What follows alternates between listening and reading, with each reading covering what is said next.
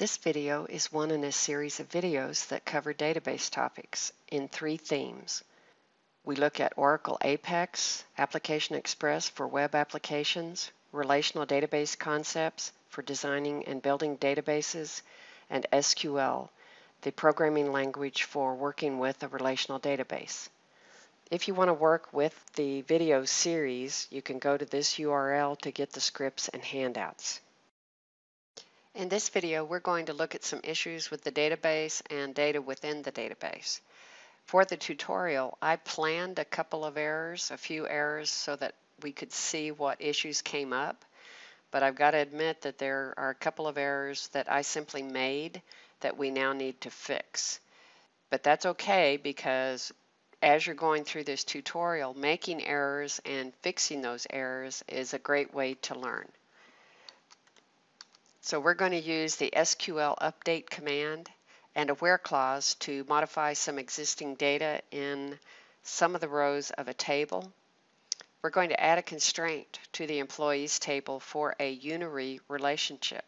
This is a relationship between two columns in a single table, a table that is related to itself. Then we're going to remove a column from a table and then we'll re-import the data dictionary to see how it looks after we've made these revisions. Keep in mind the things that we're doing here are at the database level. That means they happen in the database itself. So any application that uses the database is going to be impacted by what we do. So don't think that because you're making a change to the database while you're working with a particular application that it only applies to that application. All the applications in Apex that we're working with, we have a production and a developer application, are looking at the same tables and the same data in those tables. So I'm logged into Animal Shelter as one of the developers. I'm going to start the developer application and I'm going to run that application. I'm going to go up to animals and I want to add I want to add an animal. So I'm going to select the report and then if I want to add an animal I would click on create. What I'm going to do is add a feline and I'm going to put in the primary color and it is a mixed breed. It's female. It's available. House trained Yes. Spayed or neutered? Yes. I'll just make up a chip number and then I will put in the estimated date of birth. I'll select November 5th, but I'll change the year to 2015. Right now, all of the breeds listed here are for dogs, so I won't implement anything here. Then I will pick a file. And click Create. So when I go back to Application Builder and go look at the data in the object browser, or actually I'll go to SQL commands. I'll open that in a separate tab. Let's see what we have. I wanted to add something that was not a canine. So if I want to look at the data, I'm going to do I'll use distinct, so I only see a particular category once. And this is from the animals data, the rows we already have. And we see down here we have dog, canine, and feline. When we created the static LOV for category of animals, we designated dogs as canines. So I need to take any row that says dog and change that to canine so we have consistency for the animal category. I wanted to make sure that I also had at least one other category. I wanted to illustrate that you really should use a where clause when you're using an update. Let me do a quick count. Let's do a select count from animals just to see total number of records. Run that. We have 53. If I do a select count from animals where category equals feline and run that, We have, and run that, I had a typo. We have one. How many already say canine instead of dog? One. So we have a total of 53 rows. We need to change 51 of those rows because the rest of those, if I come in here and change that category to dog and run that, we see we have 51 rows. So when I make that change, when I do update animals, set category equal to canine, where category, the data that it currently has, is equal to dog, then it will change 51 rows. So let me run that and it says 51 rows updated. You almost always want a where clause so that you don't alter every single row in a table. That's a pretty dangerous thing to do. You could mess up some of your data unintentionally. If I click on SQL Workshop, do a right click, open up Object Browser, look at the Object Browser, go to Animals. I'm now seeing under the Data tab, I'm seeing Canine. If I advance to the end, I'm seeing that I have my feline that we added in a form just a few minutes ago. Now, this won't be an issue as we go forward because we've added LOVs, so people will make changes to the data based on the list of options we give them. The reason we had to make this change was we had existing data before we built this application, so we had some inconsistency here. We have another issue because what I want to do is, let's see, let me first bring up the data model and point out that we actually have what we call a unary relationship. I have a relationship between two columns in the employees table.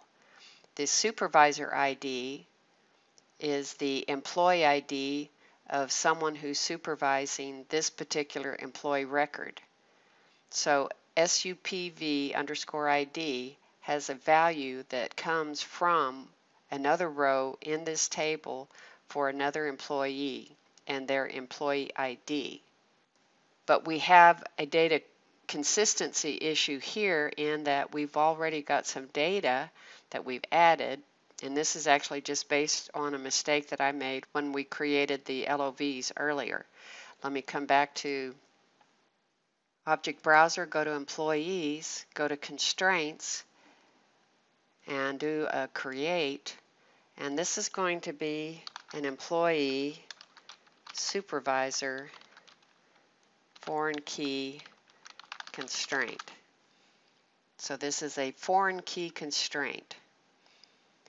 The foreign key comes from supervisor ID, move it over, as it relates to the very same table, employees, and EMP ID.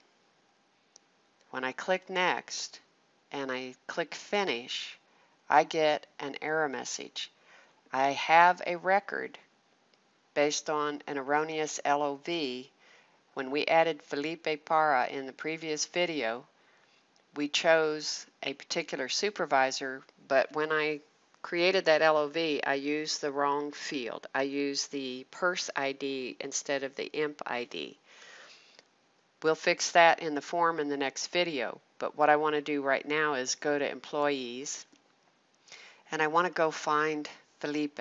So let me go to the data and I'll do and I'll do a query. I'll look at all the fields. Well, I can probably find him by begin date, but I'll go ahead and actually come to persons, do a query here first, and the first name is Felipe. Whoops, it is case sensitive. Let me do a new query. Here's Felipe. So his pers ID is 90156. Come back to employees, do a query. 90156 is his pers ID. Run that, and here he is. I'm going to edit this and I'm simply going to remove the supervisor ID. This is the wrong number. It should have been a 5 a 500 number So right now I'm simply going to delete that and apply the change. Once I've done that, then I can come to employees, to the table, or to the constraints and try this again. I want to do emp supervisor foreign key constraint. The foreign key will be supervisor ID and it will be related to the same table, employees for emp ID. And I'll click next and finish. And I can do that now. So the fact that I got that error message is just another reason why we like the DBMS. It is enforcing referential integrity. If we can't create that constraint, we already have data that is not correct. So we have to figure out where the error is and fix it. The problem is with the mistake I made. It is not in the DBMS or what I'm trying to do with the unary relationship. So we've added that constraint. The other thing we need to do, and I talked about this in the previous video, is, uh, let me see, call up my data model. I said that zip ID, which would have been a surrogate key, I decided after the fact that I wasn't going to use that. I was going to have one table where we didn't use a surrogate key, but then I didn't follow through when I was writing my scripts to create the tables. So what I want to do is come delete zip ID. It actually has no purpose in this particular table because we're using the actual zip field as the primary key. We see that here with the 1. So now what I want to do is drop a column be very careful about doing this uh, because it can break other things. But I'm going to drop zip underscore ID and click next and click finish. I can look at my data. I, st I still have the zip code, the city, state, and state name. But if I come back to my application and run that and check on data maintenance, if I don't have a form yet for the maintaining the zip code data, we're okay. But if I had a data maintenance form and I dropped that field, I would probably need to recreate that form. What I'm doing at the database level can break something in the application itself, but it looks like we're okay. So the last thing I want to do is I'm going to start up SQL Developer and I'm going to re-import the data dictionary so we can see that unary relationship. I'm going to log into the animal shelter schema, go up to File, Data Modeler, Import, Data Dictionary. I will be using my animal shelter schema. And I won't include the lookup, so if it says lookup, I'm not going to include it. I'll click Next and Finish and I'll move the diagram around a bit so it's easier to read. So now we see that the zip ID field is gone from zips, but more importantly what we see is we have this unary relationship where we have a primary key of emp ID that relates back to a foreign key of supervisor ID. So we've modified this. So I'll do a file, data modeler, print diagram and print to a PDF so that I have on file documentation of the current version of the database.